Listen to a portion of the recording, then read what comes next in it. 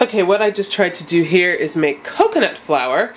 And what I did was I used coconut pulp from coconut milk that I had dried for a while. And I had three batches of it. And I put it into the blender. So hold on, let's see how it looks. Okay, I don't know.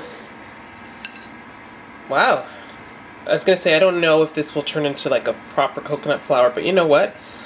It feels like a nice floury consistency. It really does. So the next thing for me, and I didn't show you from the beginning, I do apologize, but if I do this video again, I will. But the next thing for me is I'm gonna try to make a recipe that calls for coconut flour and see how it turns out. But that's definitely nice and fine. Ignore my funky blue fingers.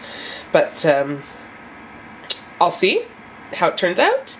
The real test will be using it, but it's definitely a floury consistency right now. Okay, thanks for watching.